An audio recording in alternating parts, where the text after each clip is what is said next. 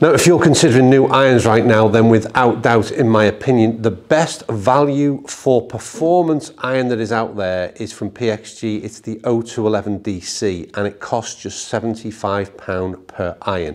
It's incredible value for the performance that you get from the iron. However, there is another iron amongst their ranks, which is the Gen 4 0311. Now, they're £220 per iron. That's a significant difference. And what I'm going to find out today is what is that difference in terms of performance and why are you paying so much extra for those Gen 4 0311s.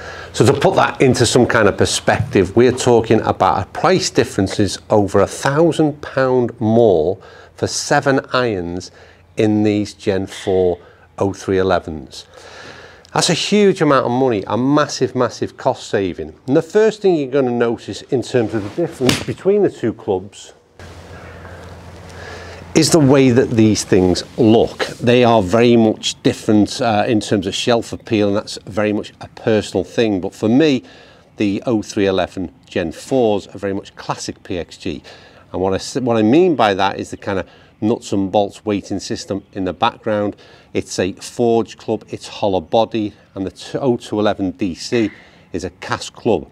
So first of all, very much different in the way they are manufactured and the components and materials that are used are again very, very different. But the fact that they look different and they're made of different components, does that necessarily mean that one is better than the other?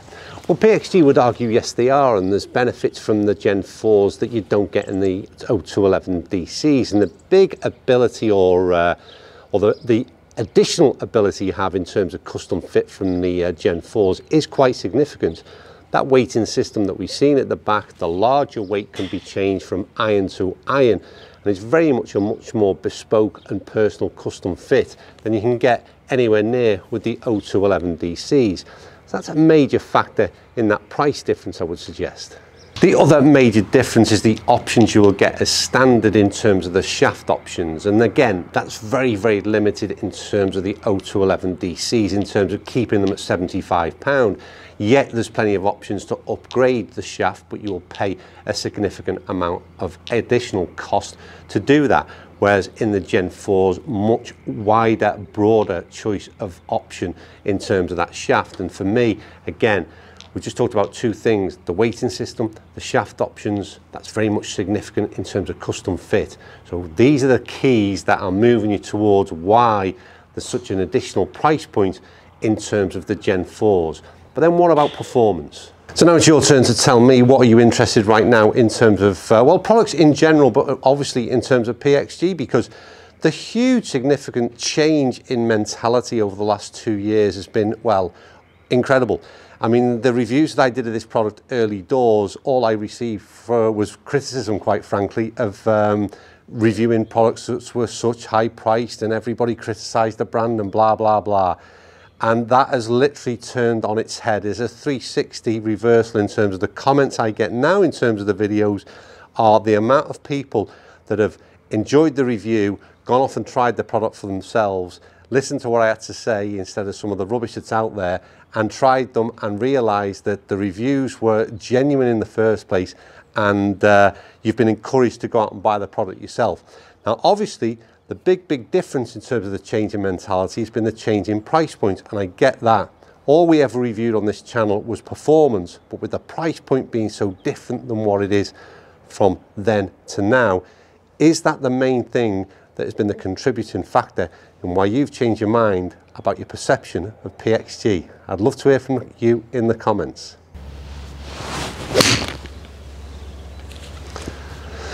Before we do get onto performance, looks is north, so a significant uh, well factor in terms of why you might buy a product. I've got to say I think the 0211 looks fantastic in terms of what they've done. It's a really good looking cast club. I mentioned in the initial review that I did of these, the only bit I don't like is this kind of uh, almost plastic insert into this uh, cast head. I wish that was just left as part of the full cast body and we didn't need to see this, but there you go. Overall, looks really good.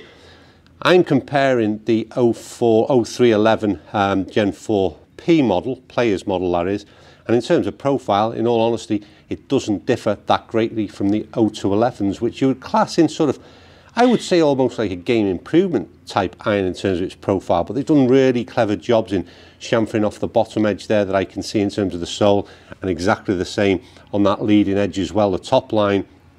So it gives a perception of a much smaller profile at address, which I really, really like. And again, they've done that very much uh, with the Gen 4, exactly the same type of techniques to try and make a bulkier club look a little bit thinned down.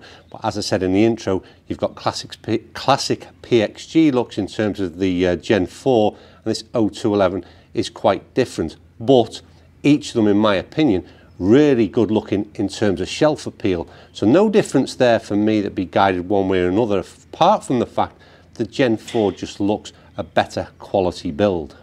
Now I'm not going to compare performance because it'd be, uh, well, it's very uh, different in terms of the club setup. We've got a 7 iron at 28 degrees in the 0211, and in the uh, Gen 4 it's 30 degrees, so straight away that'd be very much uh, difficult to do any sort of comparison. And there's also a massive difference in terms of the shaft.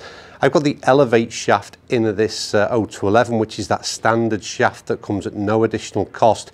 But in terms of the um, in terms of the Gen 4, there's a steel fibre shaft in there. So again, very, very different to compare performance. But what I will do is I'll give you some opinion on how I think each of these perform, how they look in terms of what I'm seeing visually from performance.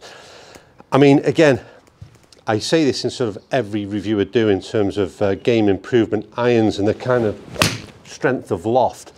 What I don't see is that impacting on terms of in, in terms of launch and these uh, 0211s launched the ball really high, good ball flight, not had any issues in terms of recording the sort of spin data that you would want and again would be sometimes worried about in terms of strong lofted irons. But then in all honesty, if you switch over to the, um, the Gen 4 irons, 30 degrees would still be arguably a, uh, a strong lofted iron in many instances. But yet again, you sort of see similar things. It's definitely a more compact and better looking profile from above, less offset from the Gen 4s in terms of this player's model at least. Don't forget, in the Gen 4s there's an XP, there's a player's, um, and then there's the Tour model. So again, you can mix those up. So lots more options in terms of set makeup as well with the Gen 4s that you don't get with the 0211. And I don't know whether you can hear from there. It normally doesn't uh, resonate back over on the camera, unfortunately. But the forged feeling and the softness that comes out of the Gen 4s is really, really good. And what you'd expect from this type of iron, it doesn't have the sort of hollow sound that some of these irons do in this category. But I can't knock the 0211 because one of the things you'll notice has remained constant. All the reviews that I've done of that iron over the last year, 18 months is my bewilderment as just to how good that sounds in terms of a cast iron.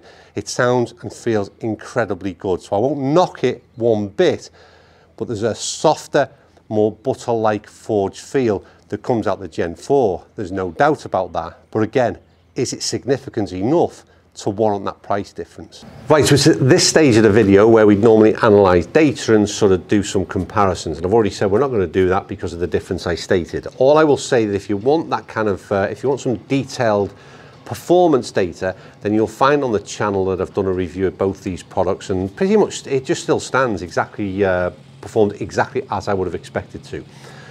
The question is, um, I think of this video, is would I pay a thousand pound extra for seven irons in the Gen 4s? And I suppose that's a, that's a sort of, that's a, a difficult question to answer, but I'll separate, ultimately, no is the answer. I wouldn't personally. And the reason I wouldn't is because that I think if, if budget is your thing and you're working within a, um, a financial restraint in any way in terms of the, the amount you've got to buy your products, then don't forget we can buy a full set of 0211 DCs and we can buy drivers, fairway woods, hybrids, putter and bag for that thousand pound. So logically, you're getting a full setup for the additional money that you've got to pay for the Gen 4s.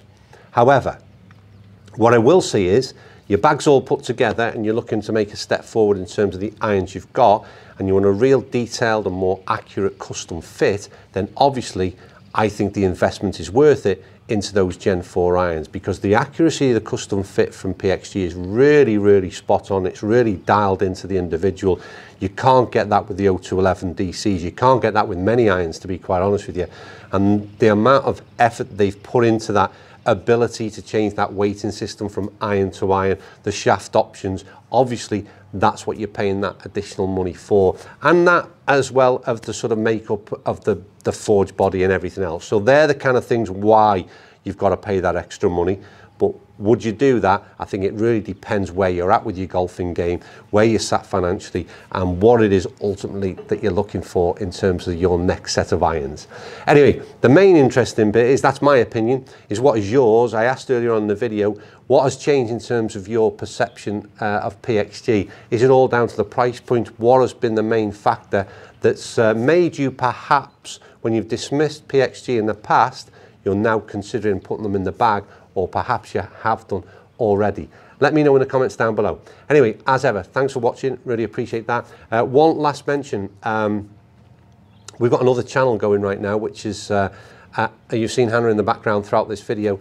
Uh, the channel is called Andy and Hannah. I'll put a link in the description box below. It's a new channel. We post videos every Sunday. And I appreciate if you've got interest in the channel and what we do off course, then perhaps pop along and just have a little look at that as well. Your support would be greatly appreciated. Right, that's me done. I'm off. See you later.